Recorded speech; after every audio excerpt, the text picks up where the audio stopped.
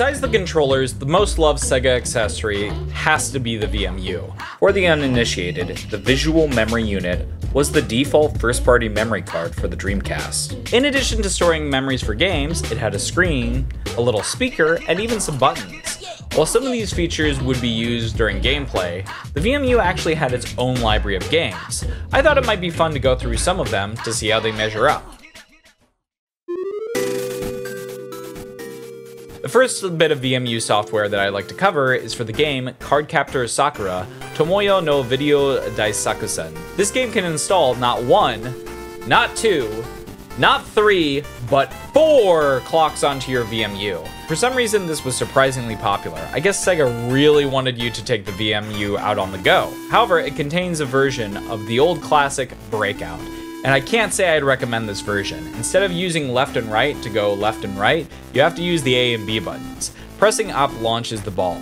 Of all the ways I can think about playing Breakout, this is probably the worst one.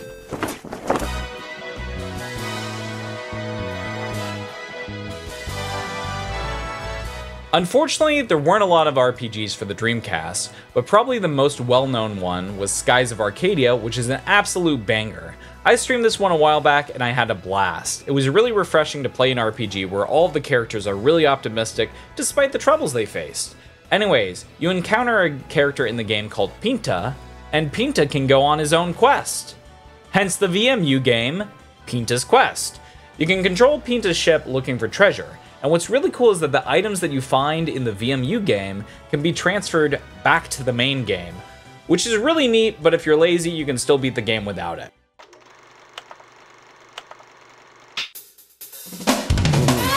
Power Stone is another beloved Dreamcast classic, and it would have several minigames for the VMU. The first is Falcon's Aerial Adventure. You're piloting a ship and you gotta avoid bombs. It seems super weird to me that I couldn't shoot, but maybe that would have been too much for the VMU to handle. It's okay, but it gets boring really quick. The next would be Ayame's Shuriken Training. You have to throw shuriken at guys. I'd probably say out of all the minigames I played for this video, this one was my favorite. The final minigame would be Gunrock's Gun Gun Slots. This game is literally just a slot machine, I don't really have much to say about that.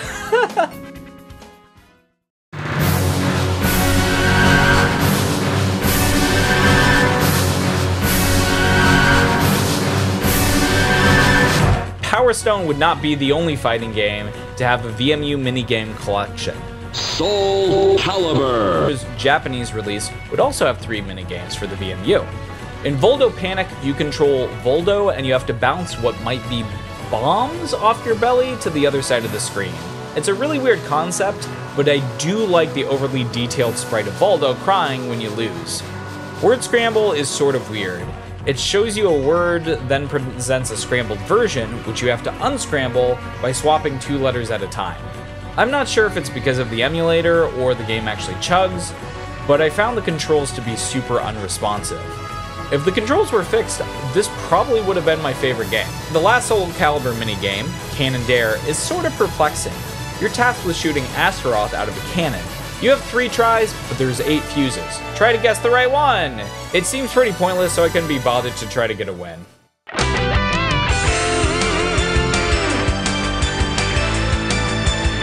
The last game that we'll be covering is oddly enough another fighting game. Tech Romancer! What is it with fighting games and VMU minigame collections? The most bizarre minigame in this video has to be Love and Punches. You're supposed to punch girls for points? I, I don't really get it. Phantasm Unit is pretty similar to Falcon's Aerial Adventure, where you gotta dodge obstacles in a ship. You can press up and down to change the speed, but yeah, not much to this one. The final game is Rock, Paper, Scissors, which is just Rock, Paper, Scissors. Press A and B to select rock or paper. That's it. It's, it's just rock, paper, scissors. There are a lot more bits of software for the VMU out there, and there's even a standalone emulator for playing these games but I'll leave it here for Sega's little memory card that could.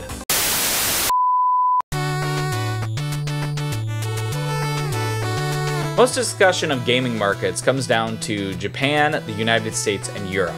But there's a lot of other places in the world that have been playing games for a long time. The subject of this video will be covering one that you might not expect, Brazil. While the Famicom and the NES would vastly outsell the Master System in Japan and America, Sega's 8-bit system would have a much longer life in the largest country in South America.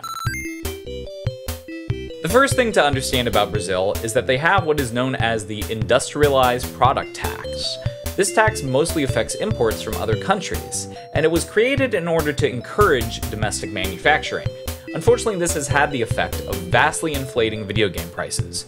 Just for reference, the PS5 in the US goes for around $400, where in Brazil it's nearly twice as much at $815. This has always been the case since video games started taking off in the 80s, leading to a massive amount of video game piracy in the country. But that isn't to say that there weren't legal alternatives. Often foreign companies would work with a local company to produce their products domestically, thus avoiding the tax. Sega would work with Tectoy to do the strategy. In fact, Tectoy is still releasing Sega products to this very day, including Master System and Genesis based consoles. This partnership was so successful that at one point Tectoy had 80% of the Brazilian video game market share. Probably the coolest part of this partnership was that Brazil got games for the Master System that no other region received. Most of these were conversion of Game Gear games, but it's still really neat to see. These games would include Battletoads, Dynamite Headdy, Earthworm Jim, Echo, Mortal Kombat 3, Sonic Blast, and most impressively, Street Fighter 2. Unfortunately, some of these games don't really run the best, but it's still really funny to see a Master System game have a release date of 1998, nearly 15 years after the original console release. So, if you've ever seen anybody playing a Master System game that's all in Portuguese, now you know why. When it comes to Sega, the first mascot that comes to mind is obviously Sonic the Hedgehog, but the company has had several mascots throughout the ages. While the Blue Blur was the primary mascot during the 16-bit era, when it came time for the next generation, a mainline Sonic game would not grace the Saturn. Why that is, is a different story for a different time. But while America got weird people with rings around their head, Japan was very different. The Japanese Saturn would have its own symbol, Segata Sanshiro.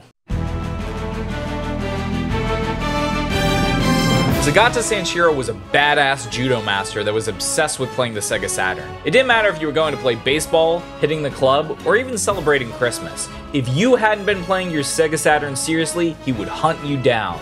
The first thing that's really cool about Segata is that his name has like three meanings. Segata Sanshiro sounds super similar to his catchphrase, Sega Satan Shio, which literally translates into you must play the Sega Saturn. It also sort of sounds like Sega Satan Shiro, which means white Sega Saturn. While the US only got the Saturn in black, it got a white version in Japan. The last meaning is a reference to famous Japanese director Akira Kurosawa's first movie, Sanshiro Sugata, which was based off of the real-life judo master Saigo Shiro. Segata Sanshiro was portrayed by Hiroshi Fukioka, Tokusatsu fans might be quick to point out that Fukioka-san was the original Kamen Rider. Tokusatsu isn't really well known outside of Japan, besides the Power Rangers, but in the genre, Kamen Rider is way up there in popularity. It's also no coincidence that Segata Sanshiro's theme song sounds oddly like the Kamen Rider theme.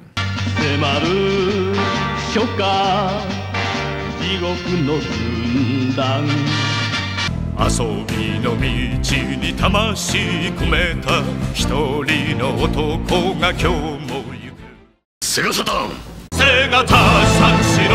セガタ三四郎。セガサタン四郎 The mascot would be so popular that eventually he'd get his own game, Segata Sanshiro Shinken Yugi. It's pretty trash though, so I wouldn't recommend playing it. If you haven't seen the commercials before, they're pretty insane. He's throwing people and making them explode, flirting with Sakura from Sakura Wars under cherry blossoms, and even doing a training montage with a huge Sega Saturn. It's definitely worth the 20 minutes or so to watch them all. Unfortunately, all good things must come to an end, and Segata's final commercial would be announcing the Dreamcast as well as his own game, and the plot is a doozy. While Sega HQ is having a meeting about the Dreamcast, some terrorist launches a missile. Segata selflessly deflects the missile, saving Sega for another day.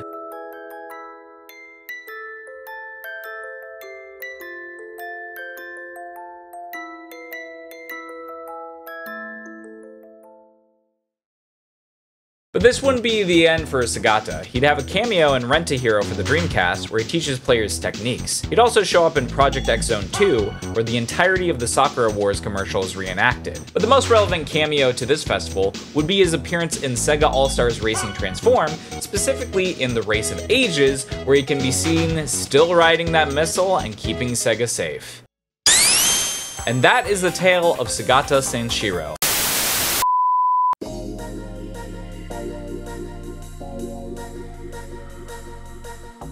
One of the things that's sometime attributed with the success of the PlayStation 1 and the downfall of the N64 was the cartridge format. While cartridges have certain benefits, like fast load times, the cost of manufacturing a cartridge is much more expensive. This is why the vast majority of consoles since the 5th generation have used some sort of optical disc media, until recently with the decreasing cost of flash memory.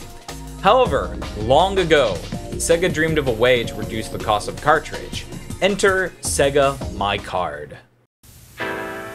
企業秘密教えようかこんなに薄くてゲームができるセガマイカード The original My Card was released for the first Sega console, the SG-1000. The basic idea was to put a ROM on a cheaper to manufacture card that consumers would buy more of. However, you would need to use the card catcher accessory to fit the cards into the console's cartridge slot. If you bought a card without the accessory, you could mail Sega to get the card catcher for free. I'm guessing that eventually Sega wanted to stop sending out accessories, so both the Mark III and the Master System would include a built-in card reader. But this isn't the only thing that the Mark III would bring, as there would be an updated version of My Card. The My Card Mark III, also known in America as the Sega Card. Unfortunately, the new format would be region locked, but the cards would also work on Sega's next console, the Genesis, with the Power Base Converter add-on. This bit of hardware is actually just a passive pass-through to the Genesis, but it's still pretty neat.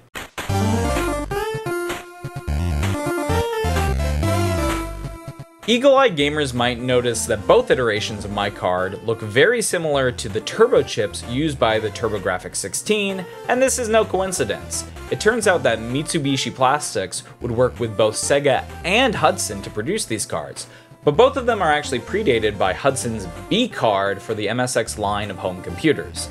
The Bee card worked pretty much the same way as my card, where it's uh, slotted into a cartridge that the system can then read. Unfortunately, Hudson was the only one who used that format for the MSX, but the MSX is a different story entirely. While the card games were much less expensive, they didn't really catch on with consumers. The other issue is that gradually games got bigger and bigger, so they couldn't really fit onto the small cards. I think this is probably the reason that the CD attachment for the PC Engine was so popular compared with the Sega iteration. And that's it for Sega My Card.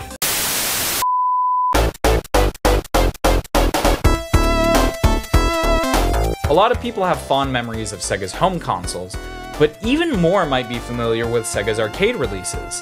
It may be surprising to some, but there was a strong link between the two sides of Sega's game division. In fact, having an easy porting path from arcade hits to home console versions was a key part of Sega's success. In this episode, I want to talk a little bit about Sega's arcade systems that were designed with this path in mind. The first Sega console that made it outside of Japan would be the Master System, and the corresponding arcade board would be the Sega System E. The System E would have the same Zilog 80 as the CPU, but better hardware for the graphics. Unfortunately, it didn't get a lot of games, so there's not much to say.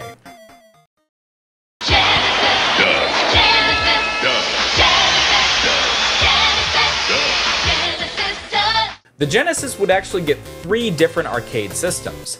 The Sega System C is largely based off of the same hardware, but there are a couple of changes that make it incompatible. Notably, they removed the Z80 processor, but upclocked the other CPU to make up for it. The graphics hardware was split up in order to handle more sprites.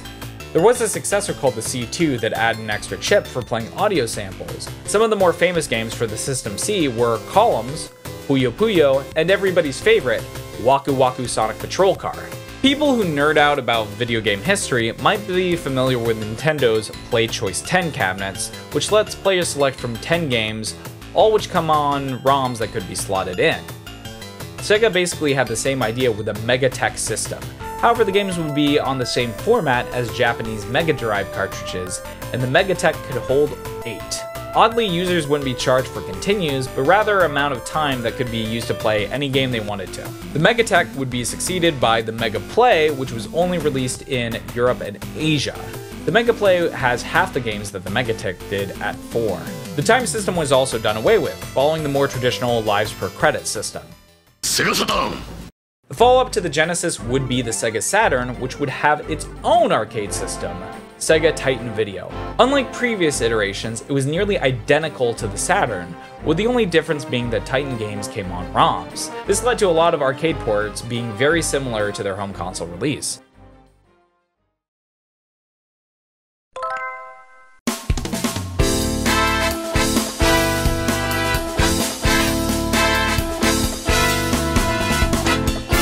Ironically, Sega's last home console would be outlasted by its arcade counterparts, of which there are many. The first was the Sega Naomi. The Naomi would have the same CPU at the same frequency, but it would have four times as much memory, faster graphics processor, and faster VRAM. Interestingly enough, you could combine several Naomi systems to get better performance. The biggest difference is that Naomi games were primarily distributed on ROMs instead of discs. However, a GD-ROM attachment would be released, letting Naomi systems run on the same GD-ROM format as its home console counterpart. The Naomi 2 would be released three years after the original, and would have much more powerful hardware, notably including an additional CPU, however maintain backwards compatibility with the original. Like its predecessor, the Naomi 2 would also get a GD-ROM attachment in order to play disc-based games. The next Dreamcast-based system was the Atomiswave. Interestingly enough, it was manufactured by Sammy. Once Sega merged with Sammy, Sega took over the project. It was much more cost effective than the Naomi, coming in at half the price. One really cool thing to me is that there's a lot of fighting games that got released on this thing. Notably, Guilty Gear X 1.5, the Rumble Fish 1 and 2, KOF 11, among others. 10? 400. The last Dreamcast-based system would be the Sega System SP. It was first released in 2004, but had games come out on it up until 2014. Instead of having a lot of components, it would have a system on a chip. Similar cutbacks to games would also happen, as they were distributed on compact flash cards instead of ROMs or GD-ROMs. While that would be the last of Sega's own consoles, Sega would actually make arcade hardware based on two other consoles. The first would be the Triforce, which would be based off of the Nintendo GameCube. It was actually a project that also included Namco. Three companies, Triforce, get it? To say that the Triforce is based off the GameCube is a little bit of an understatement. It literally uses the stock Japanese GameCube motherboard. There's a couple of other boards included, so it's not just a GameCube, but it's still wild to see Sega make a Nintendo arcade machine. The final arcade system would be the Sega Chihiro, which is based off of the original Microsoft Xbox. This is much less of a surprise considering that Sega was in a lot of talks with Microsoft when the Dreamcast was going under. Compared to the Xbox, the Chihiro uses the same CPU and graphics card, but it uses Sega's GD-ROM instead of DVDs. It also has more RAM, but other than that, it's the same as the standard Xbox. Well, I hope you guys found this little arcade trip interesting. I'll see you guys in the next one. Bye!